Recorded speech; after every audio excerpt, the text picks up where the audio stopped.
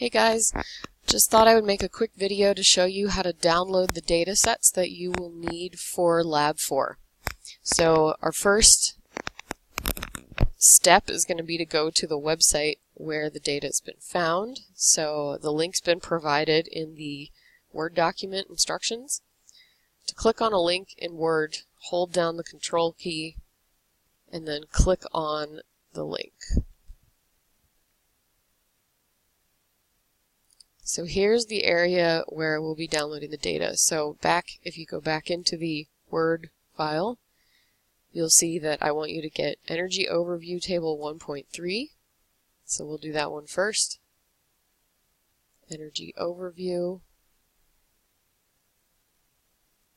And we're looking at Table 1.3, Primary Energy Consumption Estimates by Source from 1949 to 2012.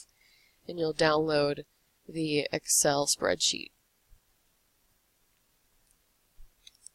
Save that, I would say, in a folder called Lab 4 so you know what that's for. So save that. And then you'll see that the next data sets we need are the uh, appendix data table D1 and E1.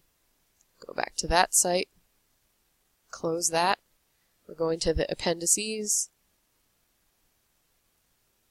So we'll download the only two that are highlighted here. We'll get the Excel file for D1. Just to make things easier, I would rename that file to D1 so you know which one it is. And then we'll also go back and download E1 as well. E1 and then save that. Alright, that's all there is to it. Now you guys have your data sets for the lab 4. Thanks.